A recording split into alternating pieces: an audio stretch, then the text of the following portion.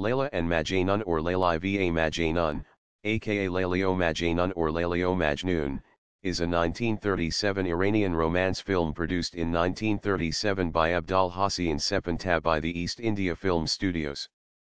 It was based on a full-scale dramatic poem by Nizami and was Sepanta's fifth produced film that had sound. The explanatory notes on editing and film processing are offered and scene descriptions are mostly accompanied by carefully worked out drawings.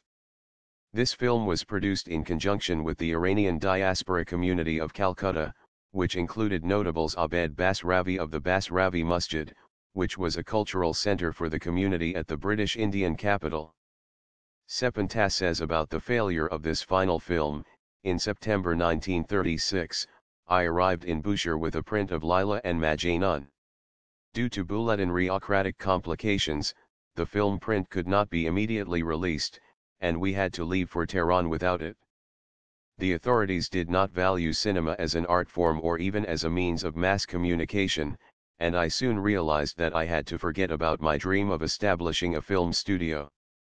I even had difficulty getting permission to screen my film, and in the end the machinations of the movie theater owners forced us to turn over the film to them almost for nothing.